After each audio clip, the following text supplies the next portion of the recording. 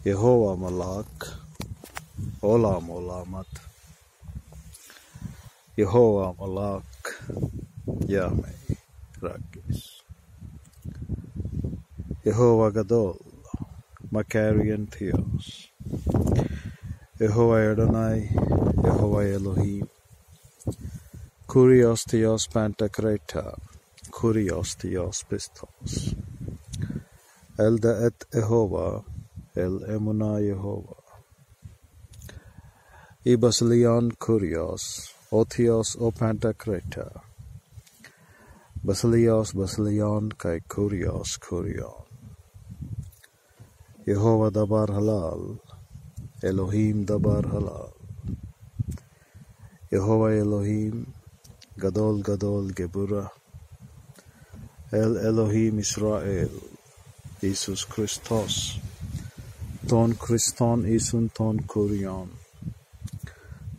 Name ہینٹس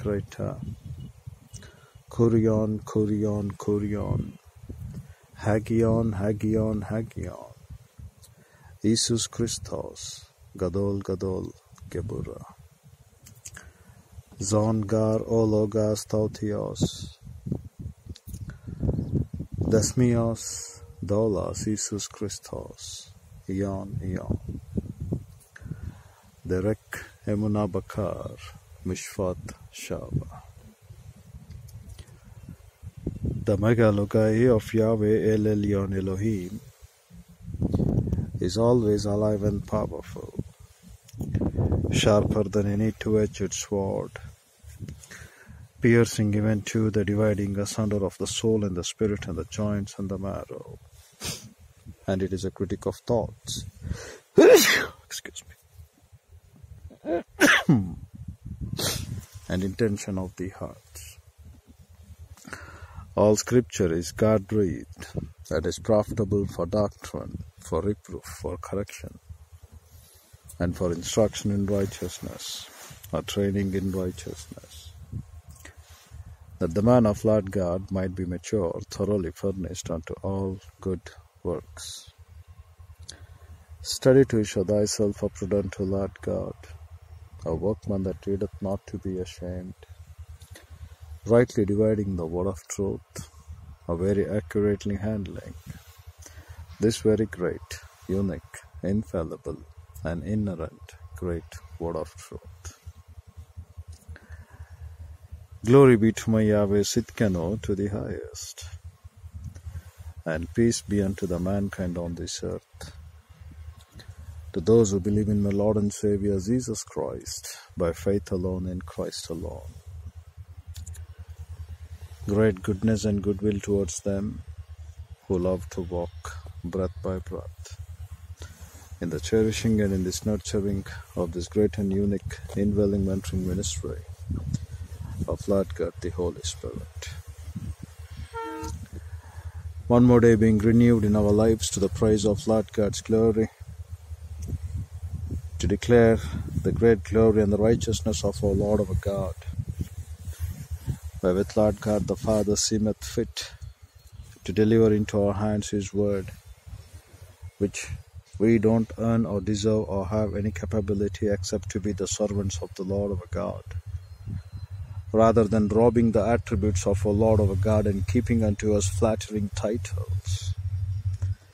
It is always simple and better for us to operate in the power of the gift given to us as a pastor teacher and expound the truth of the mind of Christ, which is not being told, through proper exegomai standards, with dispensing techniques, and with great intention of making every believer to be the disciple of the word and making in nation or in all the nations the disciples of Christ. The reason why you go sick in Ezekiel chapter 34, when you haven't come to build up your life to become the disciple of the word of the Lord of our God, the pictographical representation of the truth over there represents that you are sick in order to clear that sickness, no matter the world is in the sick of wickedness, no matter the Christendom is in the sick of disobeying the commandments of this great word of our Lord our God. In order to clear all such sicknesses, the word of the Lord our God demands that we constantly walk in the fellowship of Lord God, the Holy Spirit, and perform the things, what exactly is the truth in the Lord. So, dear brethren, in Ezekiel chapter 34, when we find the word that you haven't visited the sick,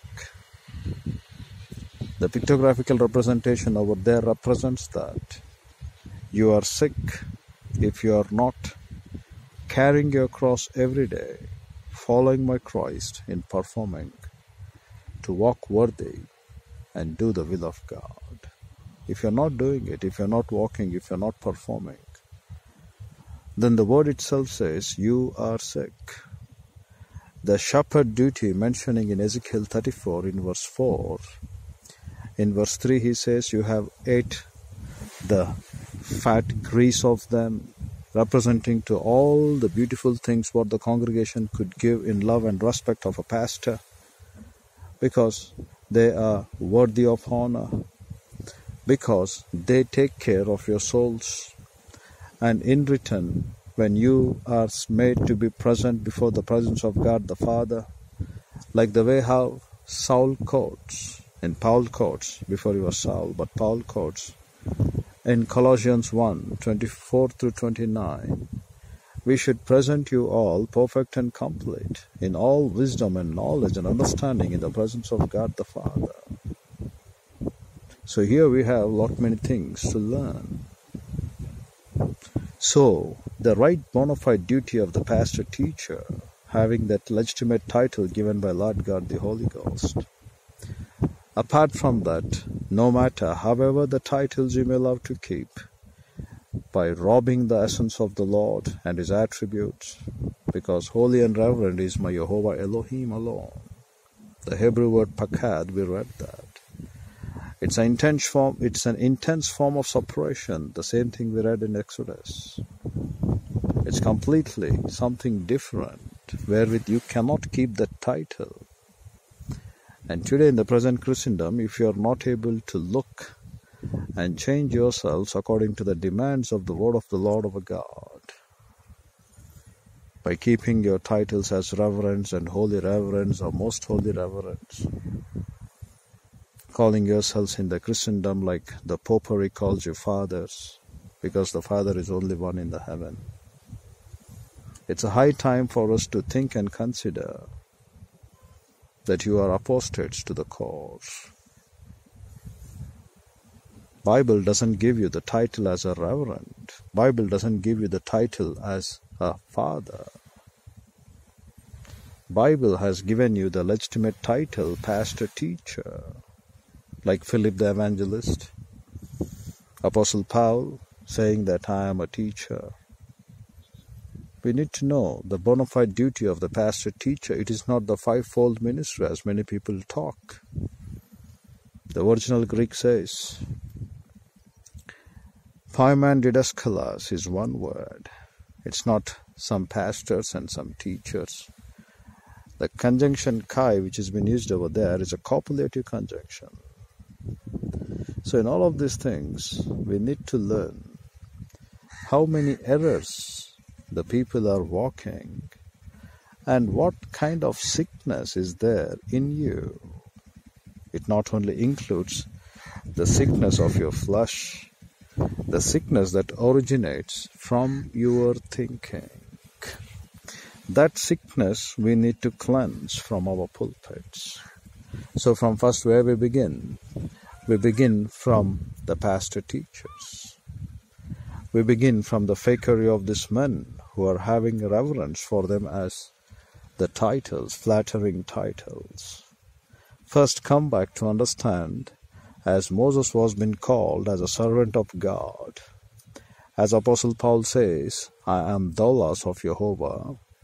Again he says in Ephesians 3, I am Desmios of Jehovah.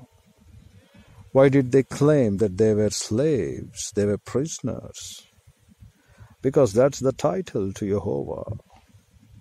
You cannot rob the title of Jehovah, who is holy and reverend, and keep for yourself and claim that you are reverend. And in return, procuring wrath upon you. Because if you keep 99 things and if you miss in one thing, the word says you are still not complete. You have to keep the complete hundred things. It's difficult, yes. But in the fellowship of Lord God, the Holy Ghost, who leadeth you, who guideth you, who has been said constantly not to grieve you, in the sense that you don't grieve it or squelch it or wax it or lie at it, but rather be controlled of it. You have been constantly demanded in the word of the Lord our God to perform those things which is called to be free from Moluno, what we read yesterday from Revelation 3 4 to the people called as Sardis. He said, These people are worthy to walk with me in white. The reason why these people are worthy to walk with him in white is very simple. They have been free from any mannerism of sicknesses that could come, which is the sicknesses in a sense of disobeying the word of God. They kept that purity of their soul. So he claims oligarchs, few people.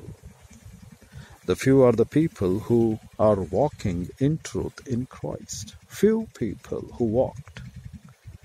And these few people today we are not able to find in the present Christendom who could be very free to understand the titles what these people keep as reverend robbing the attributes of Lord God and maintaining for them. All of these things they should completely wipe out. If we don't try to wipe out all of these things from our midst or from our standards of teachings, then surely if you may you may teach, you may call yourselves your great, but you are a sinner in the sight of the Lord. So, dear brethren, the primary duty of every believer following with the pastor teacher is to know and learn and understand what exactly is the mind of Christ. We are not following the standards of hearsay, neither we want the people to talk about the hearsay. We want something which is absolutely true and clear and perfect. So, understanding these things which are true, clear, and perfect we need to go back and dig the word from the original languages of the scriptures. If not, you are not being sent by the Lord. Therefore, when we look upon this great word in the book of Isaiah, chapter 5, when he calls his vineyard what it has to be, and when it has failed, it will be really a great pain for us to understand what exactly God the Father intended that vineyard to be, and what He expected from it, and what they turned out. Exactly the same pattern, much more worse than that, is happening in the present Christendom. What exactly Lord God the Father demands through our life, and what exactly we are paying back to Christ. Israelites at least would be in a safer place. You know why? They don't have the indwelling mentoring ministry of Lord God, the Holy Ghost. They don't have in them the completed canon Scripture. But we are inexcusable. We have in us all the things that a man could ever expect to be on this earth. What Moses longed for, we have it what the rich man before the presence of Abraham in paradise, before they could go to be in the presence of the Lord after the resurrection of my Christ, following that order. He claimed if a dead one would go, and if they once again appear and tell, that also we have because of the resurrection of my Christ. And many souls after his resurrection, they came back to resuscitation, including the close friend Lazarus in John 11 because he wept concerning the people's attitude over there over his life. So there we find resuscitations. But here when we come back, it's something greater that's Lord and Savior Jesus Christ resurrected. And we preach Christ crucified And if the resurrection of our Lord our God is not happened, then our preaching is vain, he claims. So we need to learn. We have that which Moses longed for. We have that which the rich man longed for. We have that which, if the same mentoring ministry of Lord God, the Holy Ghost, would have been given to these people, if it had been declared in the past, and if they would have followed a strict order, because Lord God doesn't go against your tyranny or anarchy, is absolutely clear in those terms. He's free because He doesn't give you any mannerism of stress to say that you have to do this. He has given you to be in the standards of making you to have volition in you. And in that volition, we learn very clearly that we have to be subjected to our free will. We have to come back to serve Christ. Nothing else than that. So, given everything, Has given for you to understand that the prayer of our Lord and Savior Jesus Christ, Eito, what we read in John 14, which we don't deserve, yet He prayed to God the Father to give unto us the indwelling mentoring ministry of Lord God, the Holy Spirit, which we are now, the temple of the Lord. Know ye not you are the temple of the living Holy Ghost? So, being given such kind of a great privilege for us, being given with such kind of a great equipment in us, we cannot be the people still the same to produce as Isaiah 5 7 teaches. For judgment you brought oppression, for justice you brought cry. And we need to look those words. Because if you are not learning the things pertaining to the mind of Christ clearly, at one end your life is in stake you know not which way you go after you die. You don't have absolute confidence on this earth. Whether you are in Christ, after you die, you will be in the presence of the Lord as a well beloved slave of Christ. You're not having that confidence, you're not having that great assurance. You're going to destroy it. Because you have been there in your entire life all the time with doubts upon doubts. So you don't have that proper, clear thinking in your mind. And you go on to ask, you have been sickened. You know, the world also has several ages. They have golden age, they have the silver age, they have the bronze, they have the iron, you know, they have some ages. In golden age, they say they live a life of nearly 100 years above, and they, then too, they have in their face the youthfulness what they had in the prime vigor of their life. That's a golden age, they claim. Even as such, all the days of our life that we live on this earth, having an absolute confidence that we know Christ, as Jeremiah 9 says, if anyone he boasts, let him boast that he knoweth the Lord of a God, he understandeth he has a clear cut of understanding about the justice, about the righteousness, about the grace. That Lord God the Father shows to him Chesed and Emet to be the only principle wherewith we walk. So, knowing the Lord our God with absolute confidence and constantly being led under the controlling mentoring ministry of Lord God, the Holy Spirit being absolutely leading us, we can live a life more than golden age because gold, the qualities of it will not change. And gold in the Bible represents the Word of God. That you have been built upon the Word of God in the fellowship of Lord God, the Holy Spirit. You have been given such a life to live. You have been given such a great purpose in the Lord to enjoy. Such a golden life you have in Christ. And today, if you are not enjoying such a golden life in Christ, and to die in your in your youthfulness of appearance when you finish the work of the Lord, then purely there is something wrong that is happening in your thinking. So you have all the days of your life fear, you have all the days of your life sickness, all the days of your life you have double mind, all the days of your life either to believe in Christ or to take the word of God in the situation, or you want to believe the rationalism or the empiricism or the medical bill reports or the things pertaining to the scan reports. You battle all the time. When your ways are on the Lord, when your eyes are on the Lord, when your thinking is based upon Christ, you don't have the fear. Because your eyes are firmly fixed upon Jehovah, he claims in Isaiah 26 3 and 4, and whose eyes are firmly fixed upon Jehovah, he says in Isaiah 41, particularly in verse 18, the dry lands I will fill up with springs of water, a rushing water which you cannot hold. That rushing water is the word of God, which you cannot hold. It is like a fire shut up in your bones. It's like a living water that flows out.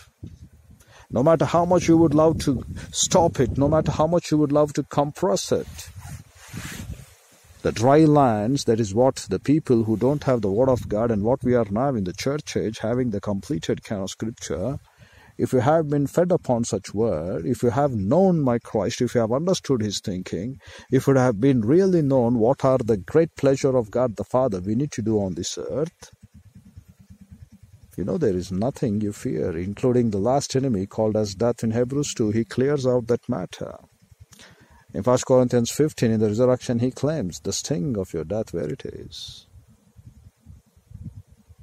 You know, dear brethren, lot many things which are there in the Bible haven't been expounded for you. So you're keeping your eyes upon men. In Isaiah 26, 3 and 4, he says, Perfect peace, shalom, shalom. Those who have their those who have kept their eyes upon the Lord, shalom, shalom. Such kind of a perfect peace we have in Christ. The same thing we have in the Word of God. And why we ask you to come and take every day this great word of God at the end, ultimately, what you can have on this earth for you. Can you have to say that I have the greatest riches, greatest gold, greatest wealth, greatest health? And in gaining those things, you think you are really a great person on this earth at the cost of ignoring the Word of God, at the cost of neglecting the mind of Christ. You know what the word of Lord God teaches in Job 28 verses 11 and following. All the details of this life, no matter however rich you may become at the end, he says these are nothing compared to the wisdom of God, that is searching Christ. Matthew 6:33. Having Christ in you, taking his righteousness and his kingdom first to be in us in all the days of our life of our thinking. He says, compared to that wisdom, compared to that knowledge, compared to that great gracious life which God the Father has designed for us, he says, nothing is more important. We shall look that. Why we ask you to come every day, carry your cross, follow my Christ. Why we ask you to grow up as grammatias, joining as disciples. Do you think it's a pleasure for us to see that you sit and write the word of God and you and you spend every day two hours forty minutes? You would have spent that in a worthless manner. But why we ask you to redeem that time and give to Christ? First of all, you will be in the hedge of the Lord. Second, you will be a life which is free from sickness. The shepherds haven't visited while they were ill, he claims in, in Ezekiel 34 4. The reason, the, the way why you are called to be ill is that you haven't become a grown up grammatias by becoming a disciple to the Word of God. And how many scribes are there for us today? Prepared their heart to do and to teach all the things as Ezra did in chapter 7, verse 10. And after the order of the wisdom of Ezra, he claims you ordain elders. So Ezra prepared his heart. Daniel prepared his heart and he claims, Prove us, give us this Zeraim to eat, like the seed bearing plants. Wheat, barley, rye, or in fact, indeed, the millets, what you can call, and give us some water to drink rather than intoxication of wine, leading you to become dead to the world, representing the lusts of the flesh. Water, crystal clear water, fellowship of Lord God, the Holy Spirit. Being free from the filth of this world, the water is crystal clear. The water alone can clear your thirst, and nothing can clear your thirst like water, isn't it? Haven't you tried that? No beverages, no hot drinks, no soft drinks. Nothing can clear thirst like water. So he says, try us for 10 days. Give that which is pure. Lord God the Father told them in Genesis 1 29 and 30 to eat. Give them that which is absolutely clear.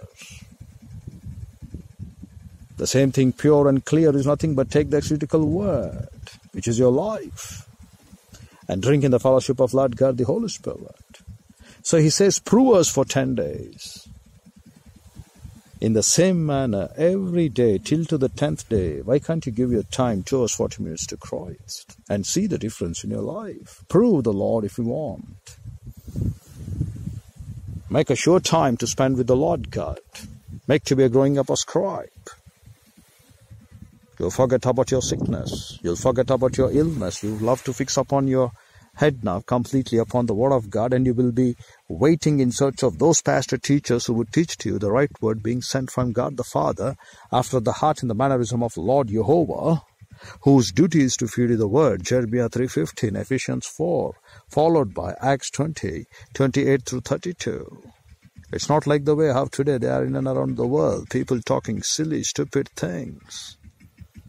And there are great many ministries for them including John Hagee Ministries. If you would listen to his discourses, he's trying to kid with you. He doesn't have the deep content of the Word of God. They allow to take the social cause, they allow to take the present circumstances, they allow to include for you the people who would come back and teach to you about the standards of the children in their life. They would simply quote some of the things, they have their prepared notes in their mind. Not one idiotic person's who would be calling them to be morons. These men, they are just playing havoc with your lives. And the people who want to listen, who want to slap, who want to say amen, and who want to continue, do you think they're so brutish without understanding?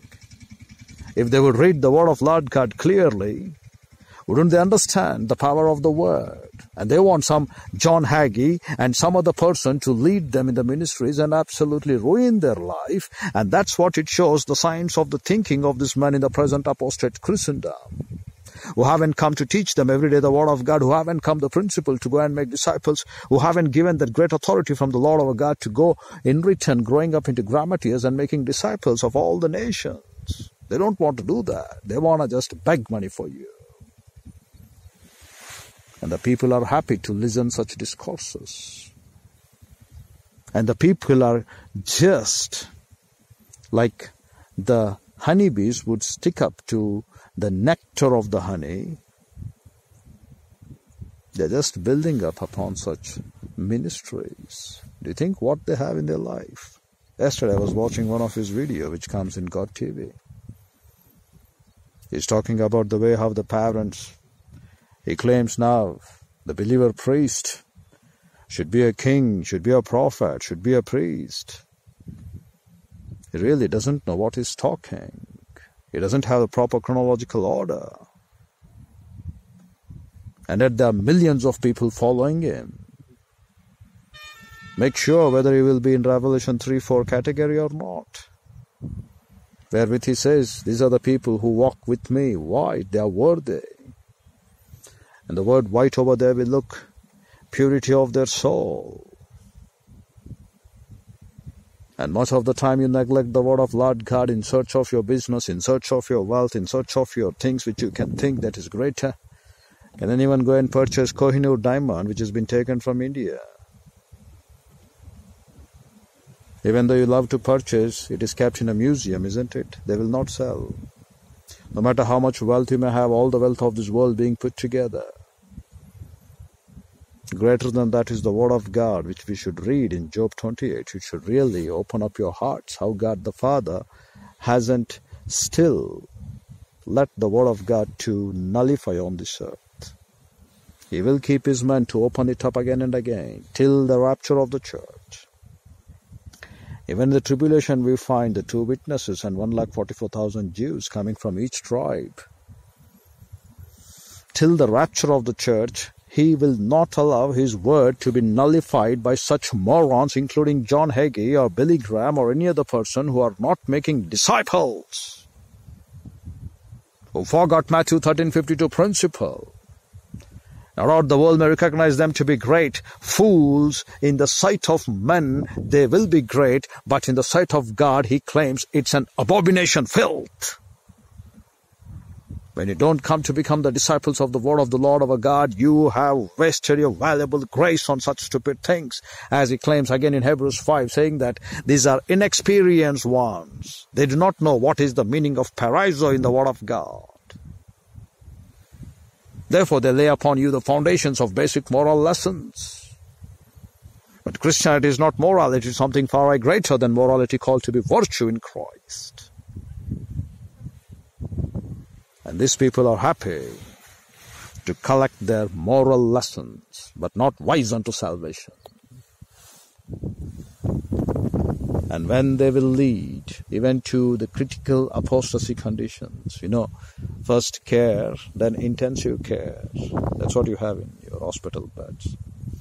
From casualty, you will come to something like a semi ICU, that is care. From there on, you will have full ICU called as intensive care. In the same manner, the church age, what has been now the church, from casualty it has come to semi. From semi, it is growing up because of these idiotic morons who do not know the Word of God, who do not even understand the fear of the Lord. They don't even have a close outline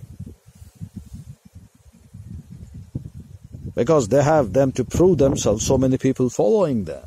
And whenever we look such kind of a man who are following such men, if they would have enough moxie in their brain, if they would have enough fear of the Lord, at least one ounce of that, they would go and read the Bible. They would search the Bible. Even the translations these people they quote is not even close enough to KJV and they just want to come and preach and these are the people who want to sing and dance upon the preaching and they want to clap their hands they want to donate they want to say amen they want to cry out and they think they really had a sermon of their life you haven't gone anywhere far than one step closer to be outside of the kingdom of god like dogs like sorcerers like warmongers like the people who love to become lie and make a lie and to have lie to be their life don't worry you're not anywhere far away from that just close enough, one step. Because you cannot prove that you are maluno, that you have it defiled. You cannot prove that. Why you have been called the things pertaining to the prophet Isaiah in Isaiah chapter 40 verse 21. First, let them get acquainted, yada. That is, you have to read the Bible. And these people would come back and give you a status quo for present statistics. Biological fathers are not there. You know, compared to all of your people in and around the world where you have. To say Christianity is great, Christianity is best, Christianity is the best. Without disciples, you have made them to become morons because you yourselves are not having that vision as leaders that you have to make disciples. And without disciples, that is not the kingdom of God growing up into grammatias in and around the world, in and around the world, for example, England, it is lost. America, it is losing. And then compared to all of your teachings, what you say, there are no proper biological parents. They do not know who are their parents. They do not know what is this, what is that. But there have been children who have been born out of wedlock in such a way, in such a manner. There are children who have been taken into abortion. That's what he was reading yesterday, John Hagee Ministry. You can search that in your YouTube in God TV, he was talking, he was giving you some statistics of your country. You know, in comparison to all such countries where once the word of Lord God reigned the world, in compared to your moral standards, my country India is thousand times far greater. And morality in culture. No doubt we also find some culprits. They don't have gods, which is living God like Christ. You keep a stone and come back after one year, they build a temple for that stone. How do you think they're going to let go the children? How do you think they're going to let go their family affairs? How do you think they'll let go their wife or the things pertaining to their undivided families? Come back and look in my country, India. My country, India, is great and rich in culture, in such moral standards, and you're trying to teach them to your country still. Then from where you're fallen, will you compare your standards of your morality to my country, India, and look? Come back and look how they protect no matter whatever it is the wife till they die. There are except few. I'm talking about the people of unbelieving section. I'm not talking about the Christians. Come back and look how faithful they are to their wives, how faithful they are to their children in taking care. And you need to preach that in your pulpits to your believing Christians. And just imagine from where you're fallen in your work. David, you should have been a person to make them to be the disciples of the word of the Lord. You should have engaged yourselves in growing up in making them to be the grammatias. The reasons why you find such kind of a things in your pulpits is that they have spent their life in search of riches, in search of comfort, but they haven't searched their life or spent their life in search of true Christ. They have a, they never kept their eyes upon the giver. They had only their eyes upon the gifts, what they would get from the giver. Come back and look. Let's have a testimony. Even now in the Western culture influence in my country, India, they are spoiling. They're having up these broken up marriages, but just look back in one fifty years or half a century or one century back, you will find the couples who survived for minimum 90 to 100 years being staying together. No matter what, the tough time it would be with them. At least we are happy and proud the way how the parents are getting up the children in India. No doubt they may not be having lot many power steps in richness, but in little, though they are poor, staying to the integrity of the family, they're taking care. The kid knows who is the biological parent. We are proud in that. Come back and look in our statistics and our statistics. And though we, the people over here on this country, India, they serve gods which are no gods, being man-made gods, either by gold, silver, or in the standards of wood or hay or stone. Yet they stick to the integrity of human, basic human relationships. And this person being a pastor over there in John Hagee Ministries, you want to talk about the statistics of his country and in return show forth. If anyone would listen from my country, those statistics, they would really laugh at you or spit at your ministry. You know the reason why? When you're not able to take care of the people whom you love, whom you have in your eyes, because you know very well the person who has been born outside of the relationship, what we call them to be bastards. Very simple word, notias. Even Deuteronomy 20 talks about the bastard shall not enter until the ten generations. If you would look back upon that concept, there may be many bastards over there who are born knowing not the biological parents, Compared to that statistics in my country, India, you will find very few. And if these people are listening to your sermons over there, they would laugh. They would say, We are happy with our children. They would say, We are happy and faithful to our families. No illegitimate bastard ones here.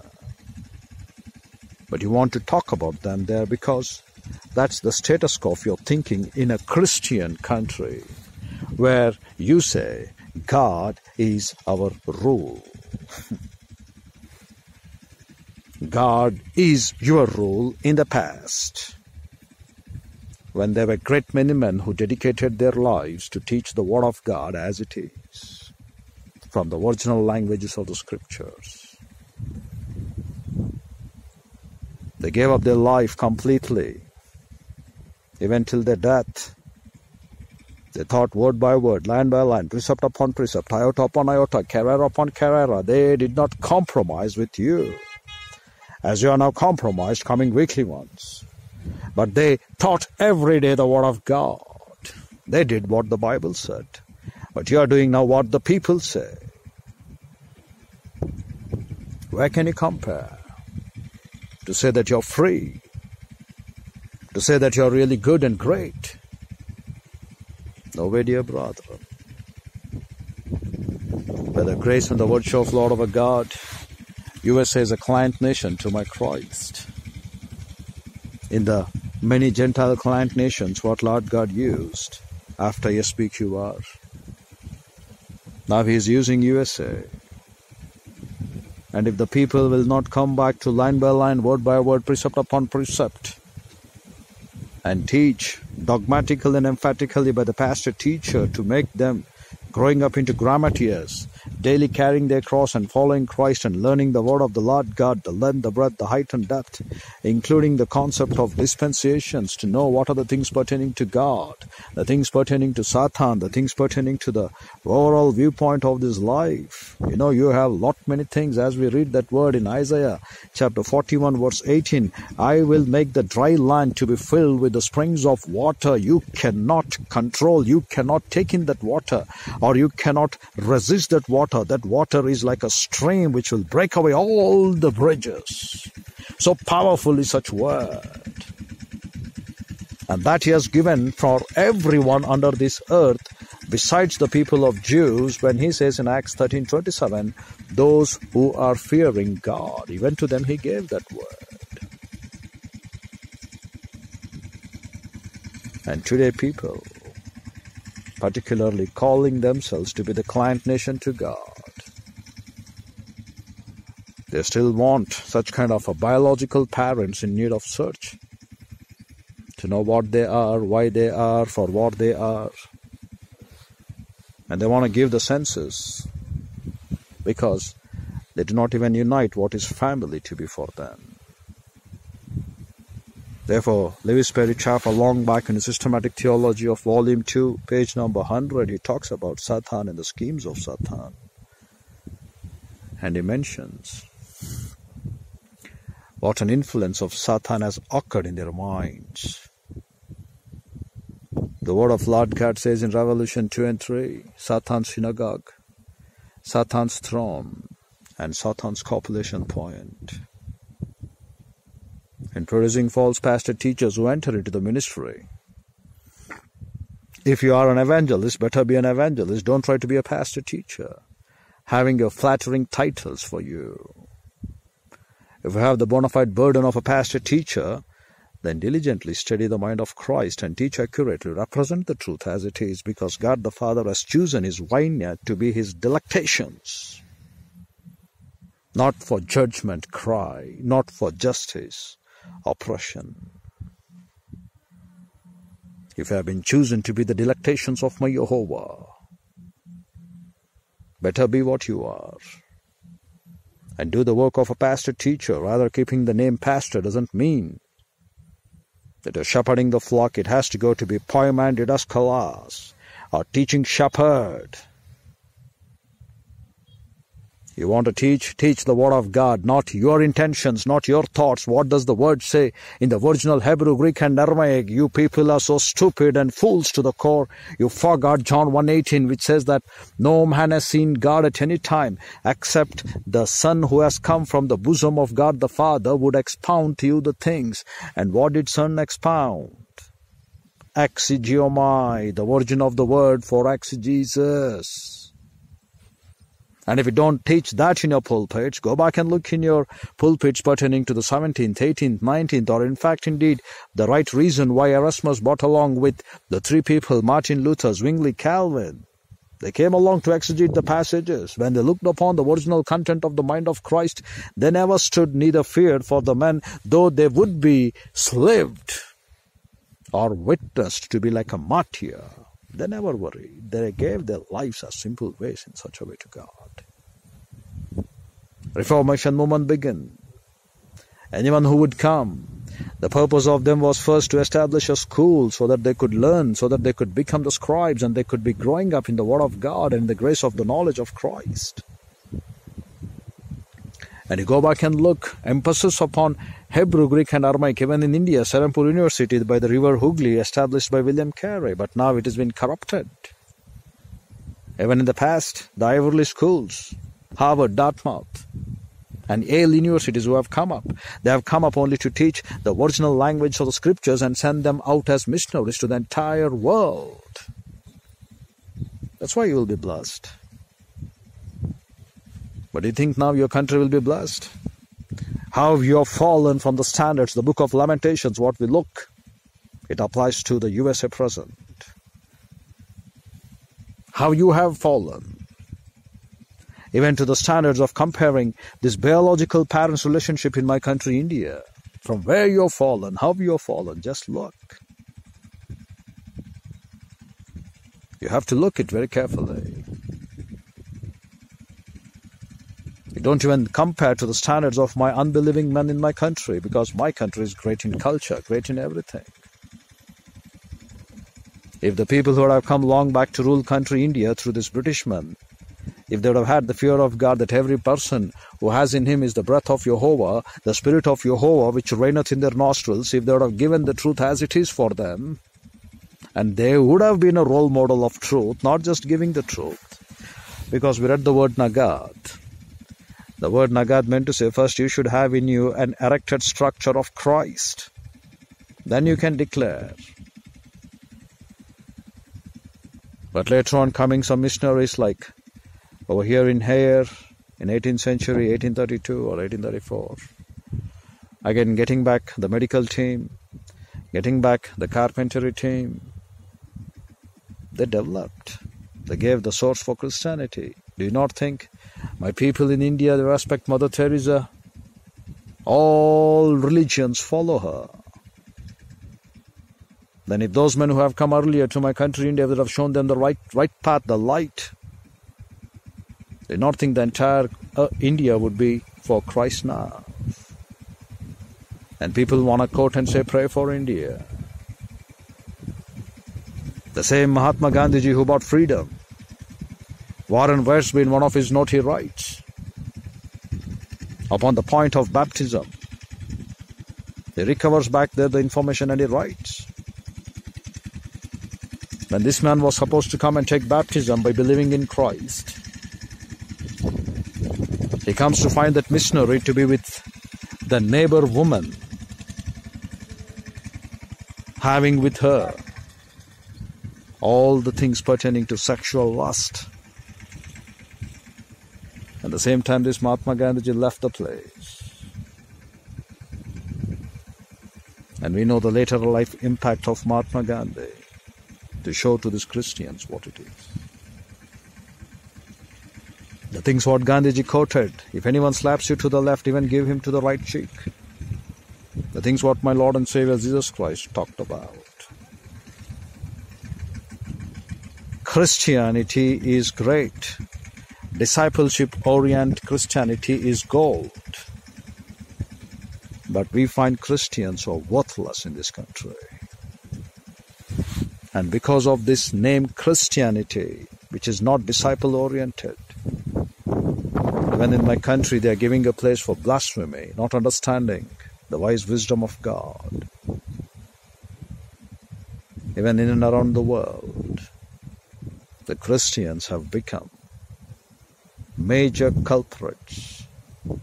Christianities have become major blasphemers because they are not doing the work of the Lord for what He has chosen them in Christ. They're not at all doing the work if they would have done the work of the Lord, Christianity, Christ would speak through us. And yet, people in search of money, in search of their position, in search of their life, they are forsaking the right and true wisdom of my God. Exchanging this wisdom, God says, Exchange your details of life, throw it off, chop it out, burn it out. Those things which are unnecessary for you, just chop it off and throw it out. Don't think that those things are needed for you now. He says, just chop it off. That's what we read the word for us in Isaiah chapter 5, coming to this great ministry of this great song.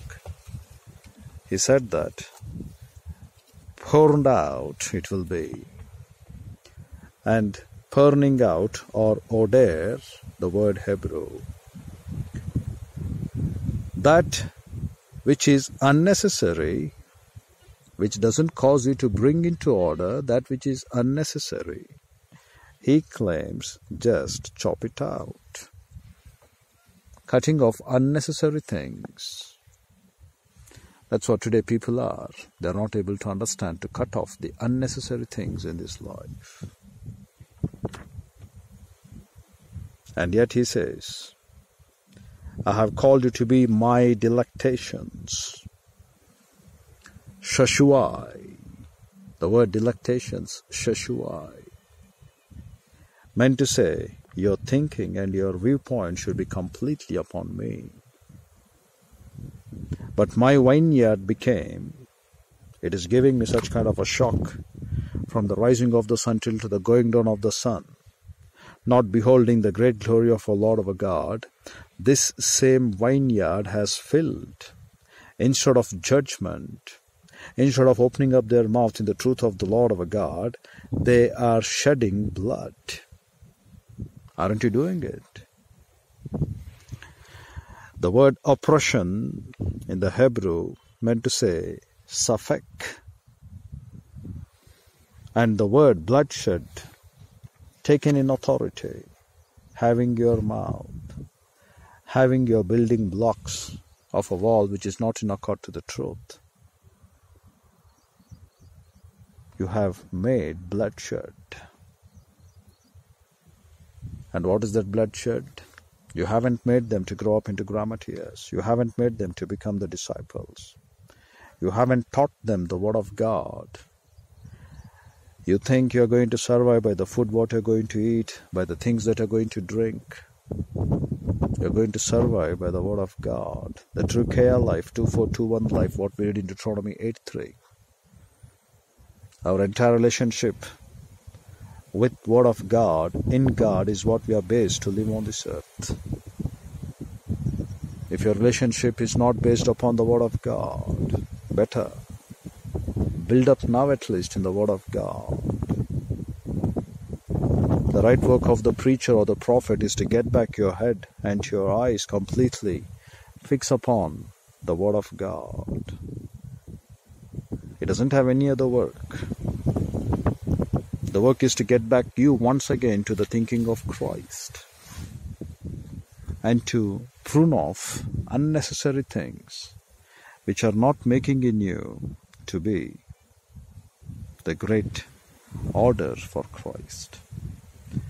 Therefore, in Galatians 5, we read, If ever you peripateo, oh, he claims, you also need to march in the fellowship of Lord God, the Holy Spirit. Stoikon. And the word stoikon, apart from peripateo being used by Lord God, the Holy Ghost, the reason is, you shall walk in order with Jehovah our Lord. What is that order? God is in spirit, worship Him in spirit and truth. The order is very simple. Who is your creator? Know it. The purpose of your creator making you to be alive. We read that in Psalms 100 and Psalm 78 verse 7. To preserve the word of God. The same thing over here when he claims I wanted you all to be my delectations or to fulfill my pleasure. The delectations or the pleasure is nothing but having in you the munching, keeping your eyes upon the word of God. In Psalms 119, verse 70, again he claims, Lord, I have been here to fulfill thy delight. Again, the same word. The desire of the Lord of our God for what we have been kept alive. So, how we can do it in a particular order? The order as we missed today to pray first. In a particular order without confession of your sins to rebound in the promise of the priesthood given to you, without being always in the fellowship of Lord God the Holy Ghost in particular order. You cannot be the man what the word of Lord God demands. You cannot be the pleasure of the Lord, but rather in return, instead of justice or instead of judgment, what we read over here, called to be mishpat, that is looking upon their munching process, looking upon their mouth, what they talk, because the mouth is the revealer of the things what has been stored in their mind or in the frontal lobe. So instead of judgment, what he's finding is finding bloodshed. Bloodshed is the way wherewith you believers in Christ, I'm talking about true believers and true Christians who are disciple oriented Christians. If you believers are not becoming the will of God, then there is a bloodshed. That's very simple logic with Christ. You are not becoming looking upon the time communicators of Bible doctrine, but once again you want to go back and lay the foundations. And he says in Hebrews 6:1, if we have time, we shall continue that. But those are not the things, but let's move on to perfection. The same thing over here again in James 1:22 he says deceive not yourselves or miscalculate not yourselves the spiritual life parallegizomai the reason why he claims miscalculation because just be not the hearers of the word but be the doers of the word. Why doers? Put into action. Oh hearers with the ear of your mind hear the word of the Lord God and make it to be your action. Put it into reality. You know, until and unless the food which has been served for you on the table, you take and consume it, it cannot go for the process of catabolism or anabolism or metabolism, whatever it is. Till you consume it, you cannot, isn't it? The same similar fashion over here. Hearing the word of God is just having food served on your tables, and now you're opted for the option whether you take it or not. We have given you right varieties of menus of food. And we have given you getting out from the stores of old and new something great for you as the word of Lord God teaches. And thus given for you such kind of a great thing, what you do? You completely get something new. And that new food has been given to you to eat. And to eat, it's your portion. We cannot force. Ten men may get a donkey to a pond of water, but thousand men cannot make the donkey to drink that water, force that water into that donkey's mouth. Here also, Lord and Savior Jesus Christ can give you the food served on the table, that is, only hearers of the word. Taking it and eating in and producing in you the effect of the Word of God is called to be the doers of the Word. And if you are not doing that Word, or if you are not making it to become an independent existence of that in you, or acting that in you, you know, you take a medicine or a pill, something like that. If you take that medicine or a pill, it would work in you. If it is working in you, then it's great. If you don't take that pill or a medicine, then how would you think that it will work in you? The same thing, doer of the word is nothing but the food what is served on the table, you take and eat. It is going to produce you the strength in you. Doer of the word is nothing but taking that pill so that your spiritual sickness can go. But you're just hearing. The pills are there on the table. The food served is there on the table but you're not doing it in action. That's why Christendom has failed. They failed on that simple proverb, what many people would love to quote.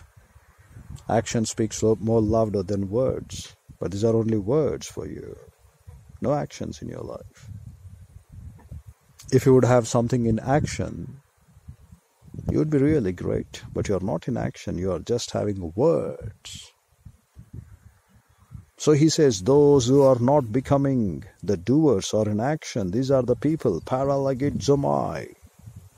These people, they are miscalculating the true spiritual life. So he says, I have called them for judgment, but they have made bloodshed. Why is the word judgment? The reason is very simple. Know you not in 1 Corinthians 6 3, he claims to judge the angels. Again, in one of the in one of the Gospels, our Lord our God said, "To whom the word of Lord our God came, you will be the judges. You're going to judge." So, if you want to judge, you should know the word of God. The Scripture cannot be broken. John ten thirty five. And besides that, you have to judge even the unseen fallen angels. When you walk every day in the fellowship of Lord God, the Holy Spirit, every breath in the mentoring ministry of Lord God, the Holy Spirit, you have something great. You have something unique. You are judging those angels. At the same time, you will be judging before unbelieving men to say the life, the righteousness, the peace, like a golden age life, what you're going to live. An unbeliever should come and ask, What is this life? What is this peace? What is this great work that Jehovah our Lord our God has given unto you? And we will also join as disciples, train us up in that thinking. The thinking which is something far greater, higher, and superior than the morality of this world, what the dogmas of this men have been looking in. You know, the dogmas of this men could be compared to the translations. The thinking of Christ, the voice of the Spirit, the mind of Christ can be compared to the original Hebrew, Greek, and Aramaic. And when we have the original language of the scriptures to exegete the passages and teach to you, we cannot rely upon translations any longer. Likewise, the world is in such religion dogmas of translations being written by men, but we have Jehovah, gift of revolution, the word of God, which has been theopneustos, inspired by the divine inspiration of God. Then how much more we should be in life, how much more we should be in purity, how much more we should be holy how much more we should judge by having our thinking firmly fixed upon the Lord and make known to this people when Lord our God is with us how he's going to prosper us like the way how he prospered Joseph, the way how he was with David. He waxed great and great. That's what we look twice the word used over there, great and great. He waxed in First Chronicles 11 9. He waxed great and great. The reason over there we find in the Hebrew pictographical representation, it is like a double scribe work he did. And he did all the things pertaining to God. What all the desires of the Lord of our God, which was in the heart of the Lord of our God, he fulfilled it. Except in that one thing, what he did with Bathsheba. It says, it did not please the Lord. And when Nathan comes, he said, Such and such things had I given you more. Therefore, in the book of Deuteronomy, chapter Leviticus, not Deuteronomy, Leviticus chapter 18, the logic behind the purity before the Lord our God, he says, in very simple words, do not uncover the nakedness. He goes on to teach, you have your own wife, just uncover her. And all the silly relationships in whichever manner she may be to you, starting from mother till to the last one as a woman, don't uncover her. And that compared to the harlotry of Hosea, we can talk. Spiritual uncovering of sickness in this world.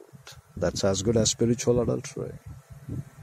If David would have stick to that principle to one wife, maybe he wouldn't have given that chance to talk about this Bathsheba case.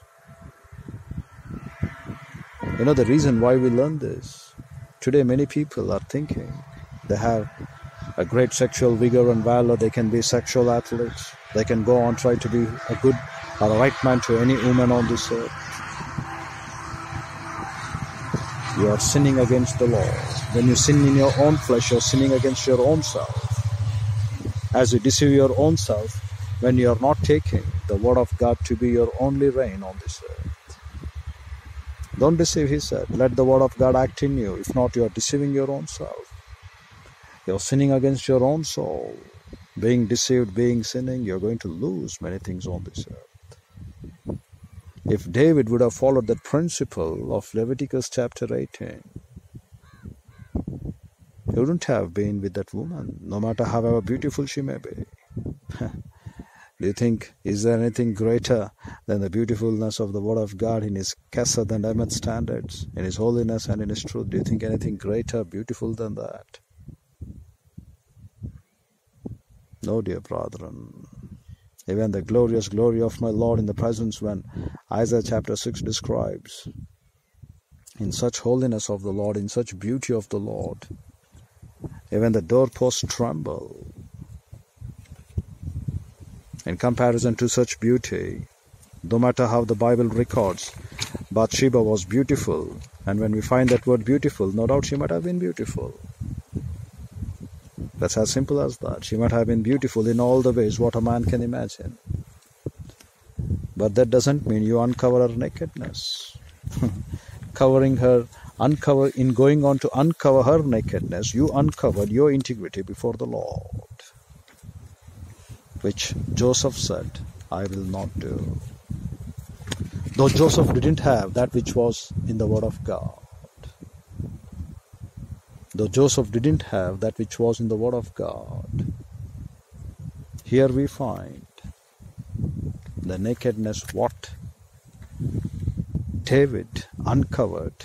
It really made him to get uncovered of the integrity before the Lord. And yet, the Bible records he did the will of God in other things as well.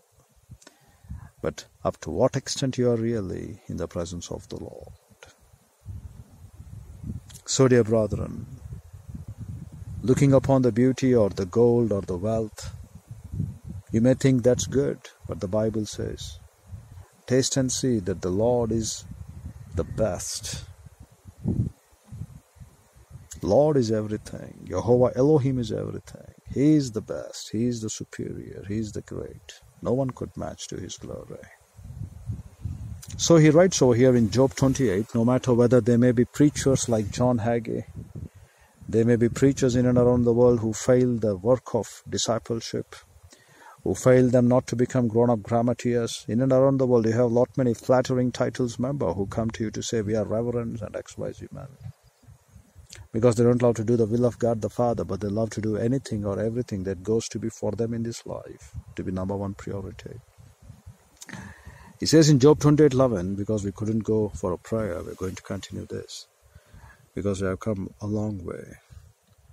He says, He bindeth the floods from overflowing, and the thing that is hid bringeth he forth to light. So here in the Hebrew it says that from seeping streams he bound up. You know what is that seeping streams? Wherewith today, in any member of the church, if you would ask, do you have any idea about the scribe that you should be? They would say, We don't know. Matthew 13:52 they fail even the good reference bibles what we have for them for making disciples of all the nations in Matthew 28:19 through 20 it clearly states that it's not worthy though it says there go and make disciples they say this reference bible is not needed now for us to meditate and they just throw it out and people would call it to be as a bookish knowledge. And they say there is no spiritual momentum in that. So here he says, from seeping in the sense, those who haven't been the disciples of the Word of God, who haven't grown up to become the scribes, from the streams. So he from seeping streams he bound up the people Though they forgot, yet God the Father in his times, he would send the men who would teach and train them up to become the disciples of the Word of God. So the word streams is nothing but in the vigor and valor of their thinking.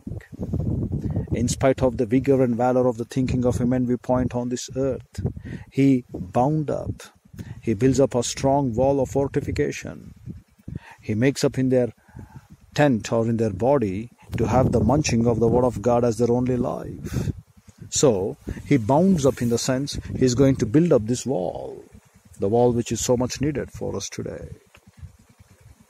And he has made it a wall of fortification for us. And obscurity, do you know what this word obscurity? Wherewith these people they have hidden. The word obscurity is nothing but tholme. It meant to say from the viewpoint of their eye, they're left to become disciples, which is not there in their blood now. He is bringing forth, with all of the pressures in the energy of the Aleph strength, is bringing forth them to light. And what is that is bringing forth to light? To give number one priority to learn the Word of God and to become the disciples of the mind of Christ.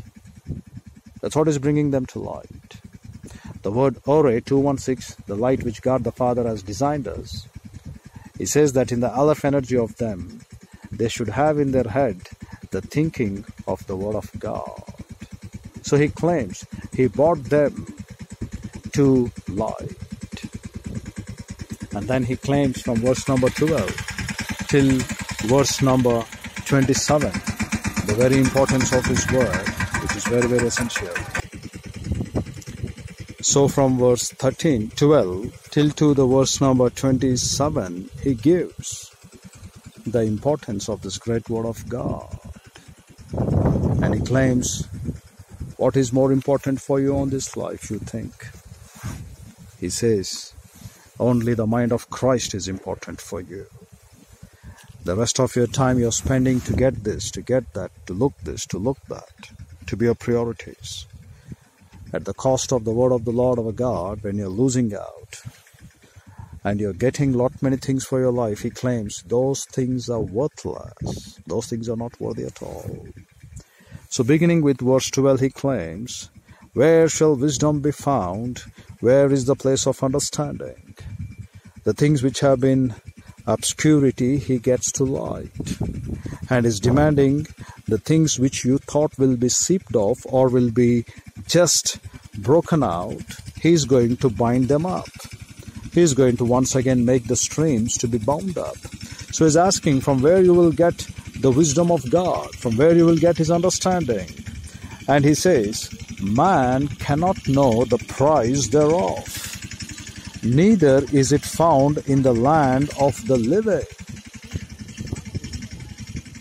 And then he claims that the depth said, It is not in me. The sea said, It is not with me. People in search of the business world at the cost of Bible doctrine. It cannot be gotten for gold, though you give gold. Neither silver can weigh, nor the for the price thereof. It cannot be valued even with the gold of Ophir, being a precious one, with the precious onyx or the sapphire.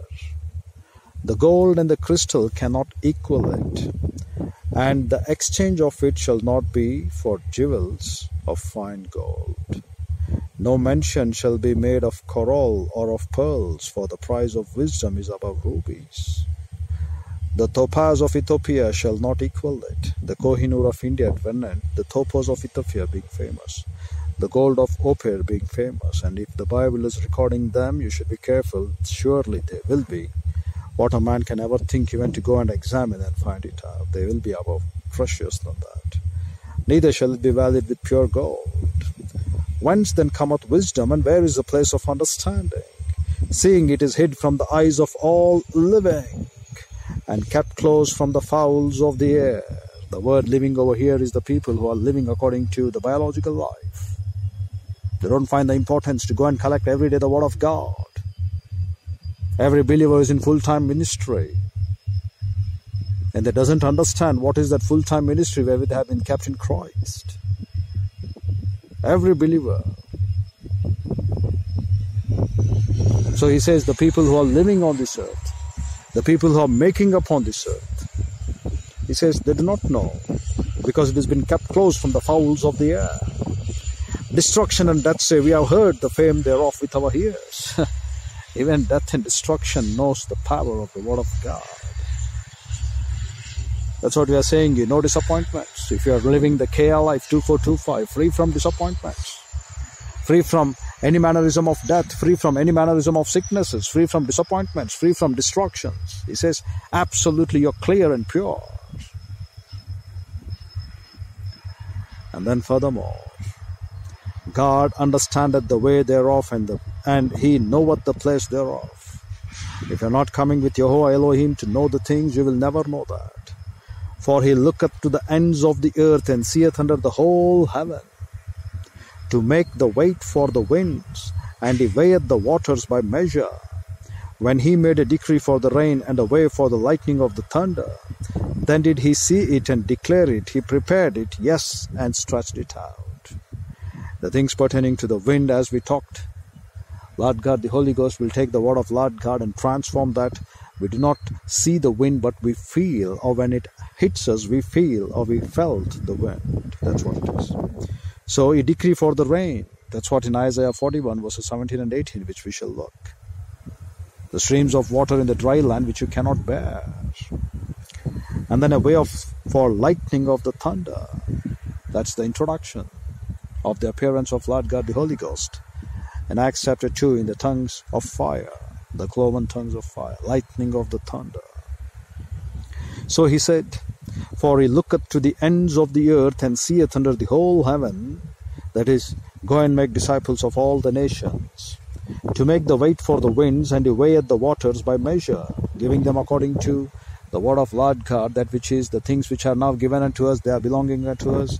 The things which belong to God the Father, they belong to Him. But the things of the measure by weight what He has given, they belong unto us now. So he further claims, when he made a decree for the rain and a way for the lightning of the thunder, for a rain is nothing but to give you the word of God. And then did he see it and declare it? He prepared it and searched it out. So he inspected and he declared it. The word declared is again scribe, sofer. He prepared it, established again kun. And moreover, he investigated a sheker. And the word sheker over here, what we learn is very, very important. Because the word what God the Father has given unto us, that same word should now work in us. And when it is working, he's investigating that. What the word he has given, it is not just like a way where the people will talk in other religion dogmas. He has given us so that he could inspect it, investigate it and prove it. When he said in Exodus 15 26 and 27, no sicknesses, none of the sicknesses, he proved it, he meant it, and he wants to prove that again for us. Great joy will they have that they love the law. He wants to prove it, he wants to investigate that great blessings that they walk in the fellowship of Lord God, the Holy Spirit. He has proved it and He wants to prove it again in your life.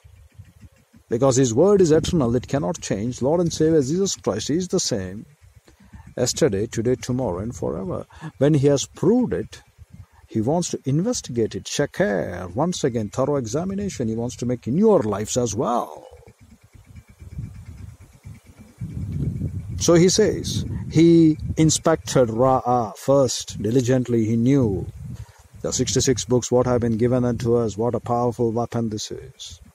He is going to rehearse. The word is sofer, the importance of becoming scribe, dear brethren. The vineyard of the Lord of our God is a people who belong to scribes. They are called to do the delectations of the Lord, but they, instead of judgment to prove before the world, they are getting bloodshed, they're killing the people by not giving them the gospel. And the second category, what he desired from that vineyard or from that kerem, he says that I wanted justice. No matter the pressure what they have from the rising of the sun till to the going down of the sun, they wanted to get every thought into captivity for Christ. But here they found pressure, but their eyes and their rising of the sun till to the going down of the sun is only weeping, weeping, desiring only to be weeping. So, dear brethren, when Lord God the Father wanted a desire of us to be fulfilled, the logic is very simple. He says, when the predator comes to attack, the delight of the shepherd is to see that he's going to destroy them so the delight of the shepherd, what he talks over here, is the same thing what he wants in every believer. Getting every thought into captivity for Christ, giving no place to devil, but rather resisting them to destroy completely. No other chance, only destroy. You cannot break and keep so that again we can fix it. No, he says, burn it off under the fire of the word of the law, destroy it. So that's what the delectations of the Lord of our God are. He wants completely to destroy not just to keep it aside. So, dear brethren, here we look. He says, Sofer, the scribe. When he's describing those things, he doesn't want to let go even iota upon iota, keraia upon keraia, but he wants to completely teach the mind of Christ. So then he saw, he rehearsed, he prepared, he establishes those who are scribes. The word prepare over here is kun. And moreover, Shakir, he wants that to be done in their life. That's it. The people may think in the golden age they died youthful, though they lived 100 years. greater than that he wants to prove now through the church age, like the vigor and valor of Moses 120 years. Eyesight being not dimmed, neither the energy of his strength being abated. Such a life God the Father demands in our life. Then he says, And unto the man he said, he's saying to Adama, creation of man, Behold, fear of the Lord is the wisdom, and to withdraw from evil is understanding. And we read that the seventh fold and the sixth fold and the fifth fold of the Spirit, the first one being the fear, the second one being the knowledge. When you have fear, you go to get into the knowledge the third one is Gebor, man of strength. The fourth one is understanding. From there you rise your life. The fifth one is counsel. The fourth one is counsel. The fifth one is understanding. The sixth one is wisdom. And the seventh one is what? The Spirit of the Holy Ghost. So those who have this fear, he says wisdom. And those who know the understanding, they will really understand the wise to be in Christ. So, dear brethren, about the cost of rubies, if it is the word of God, do you think you can get to you the gold of the gold of Ophir or the topaz, the things what we mentioned over here to be easily available for you at the cost of the word of God? No. You cannot pay the price. The only price what you need to pay, carry your cross every day, follow my Christ. This price what you're praying to God will give you better fruit. The fruit wherewith you could stand in the presence of Lord God the Father to say that all the days of the grace bestowed upon us, O Lord, we did thy work. And doing thy work is what God the Father, when he seeketh for judgment, we are going to be the great judgment of the Lord on this earth when he seeketh for justice or the Sidkenu, rather than showing cry, we will be the people to show forth the glory of God from the rising of the sun till to the going down of the sun, as the fragrance of the Lord of God being distributed in and around the world. So, being under flattering titles, don't deceive yourselves. Not be just hearers of the word, but be practically doing the word of God to reign in your lives. So which way you want to go, dear brother, and you decide as we shall come back and continue tomorrow. As Lord God the Holy Spirit leadeth us to the praise of His glory in His grace. So with our head bowed and eyes closed, the closing moments being dedicated to those who are here without Christ, without hope and without eternal life. Inaudible telling to Lord God the Father in the privacy of your soul that believe my Christ, my Lord, my rock, my Savior. That's the moment itself you shall have this eternal truth. This eternal truth for us so very simple. Believing Christ, you shall be saved. Whereas for the believer, the great much growth in grace and the knowledge of Bible doctrine, wherewith he shall learn to acquire the possession of the truth, and the truth shall set free. And for the pastor teachers, the greatest majestic care is so thorn logan. Herald the word in season, out of season, because the diamonds witnesses where which have been called. The number one diamond from witnesses, in indwelling unity, power the Bible in our hands. And diamond from witnesses, our hearers. If there are no hearers, dear brother, not worry. Besides nature, the entire because the witnesses and what is our work? Our work is to rightly divide the word of truth, no matter however the chips. So which way you want to go, dear brother, and you decide, as we shall come back and continue tomorrow, as Lord God the Holy Spirit leadeth us to the praise of His glory in His grace. Infinitely divine Holy Father, what a great and unique privilege it is, O Lord, to have fellowship through the Word. What else can we desire on this earth, O Lord? Fearing in you and having your wisdom in us and having understanding of your words and to live a life that which could be glorifying you on this earth in the power of Lord God the Holy Ghost being constantly controlling, guiding and leading us. What else do we seek and earn on this earth, O Father, except to do that? So Father, we commit everything into thy mighty hands and lead us, enlighten us and guide us so that we could renew and we get reformed and we could be always for the people of a repentant heart to do thy will all the days of this life that we breathe. So, Father, we're grateful for this message, O Lord, which you have given unto us. And as we come back tomorrow, Father, we pray that, Lord God, the Holy Ghost would enlighten and challenge us once again in thy message. In Christ name we pray, Sovereign Lord. Amen.